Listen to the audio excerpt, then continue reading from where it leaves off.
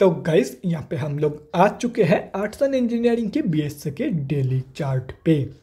तो गाइस सबसे पहले हम लोग ये देखते हैं कि ये कंपनी अभी कौन से ट्रेंड के अंदर ट्रेड कर रही है। मतलब ये कंपनी अभी अप ट्रेंड में है या डाउन ट्रेंड में?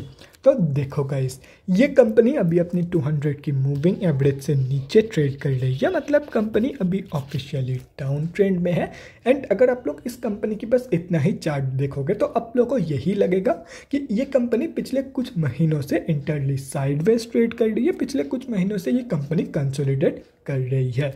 लेकिन जब आप लोग इस कंपनी की चार्ट को थोड़ा सा जूम आउट करोगे, तब आप लोग को असली गेम दिख जाएगा कि सिर्फ़ और सिर्फ़ कंसोलिडेशन ही नहीं, ये कंपनी पिछले ऑलमोस्ट एक साल से एक ही पैटर्न के अंदर ट्रेड कर रही है, जैसे कि यहाँ पे आप लोग देख सकते हो। तो जो लोग इस कंपनी में फ्रेश एंट्री करने के बारे में सोच रहे हैं, उन लोगों को मैं यही सजेस्ट करूँगा कि guys simply wait for the breakout of this pattern इस पैटर्न की ब्रेकआउट होने के बाद जब ये कंपनी रिट्रेसमेंट शो करेगी, तब रिट्रेसमेंट के बाद एंड स्टॉप लॉस लगाने के बाद आप लोग अप्रॉक्सीमेटली वन फिफ्टी की टारगेट के लिए एक बहुत ही बढ़िया स्विंग ट्रेड प्लान कर सकते हो, जो कि इस कंपनी की ऑल टाइम हाई है। अब यह है कंपनी की all time high fifty two high ये नहीं है।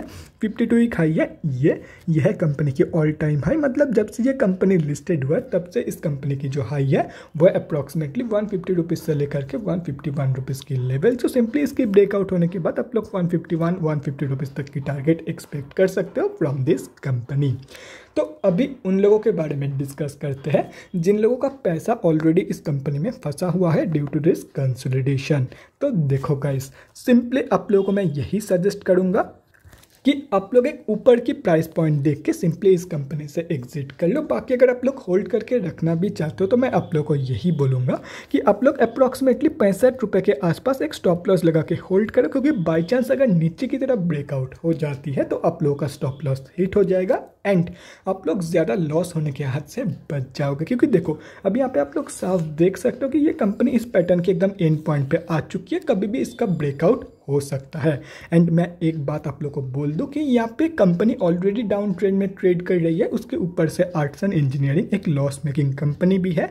तो नीचे की साइड पे ब्रेकआउट होने की जो चांस है, वो स्लाइटली ज़्यादा है। कंपेयर टू ऊपर की साइड पे ब्रेकआउट होने की चांस एंड अगर बाई चांस अनफॉर्चुनेटली नीचे की तरफ़ ब्रेकआउट हो जाती है तो उसके बाद आप लोग अप्रॉक्सीमेटली फोर्टी नाइन रुपीज़ तक की फॉल एक्सपेक्ट कर सकते हो फ्रॉम दिस कंपनी बाकी मैं यही बोलूँगा कि ऊपर की साइड पे एक प्राइस पॉइंट देख के एग्जिट कर लेना। अगर होल्ड करके रखना भी चाहते हो तो पैंसठ रुपये के आसपास एक स्टॉप लॉस लगाने के बाद आप लोग होल्ड करके रख सकते हो।